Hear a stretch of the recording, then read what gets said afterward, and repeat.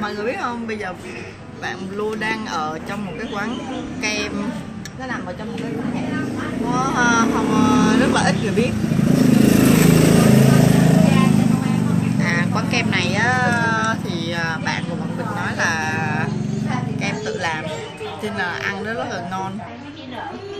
À, hiện tại bây giờ là một giờ chiều mà không thực ra là nó không có lạnh lắm nhưng mà nếu mà đi ở ngoài đường thì gió rất là lạnh thế mà ờ, rủ đi ăn kem. Giờ lúc 1 giờ chiều. Dạ, dạ, dạ ờ, coi dự báo thời tiết thì hôm nay là 23 độ 23 độ. Sắp mưa nữa. Nhưng mà kệ mùi thì rất là thơm. À mình gọi món rum nho. Rum nho là có nho nè. Khá là ừ.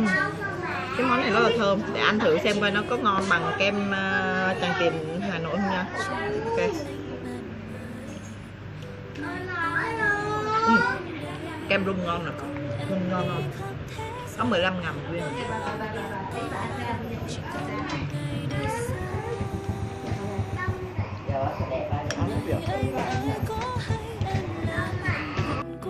Ừ.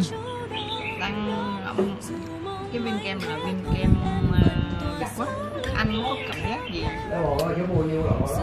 Nó là ngon bởi vì là có cảm giác là cái nguyên liệu á ờ, là được xay bằng 适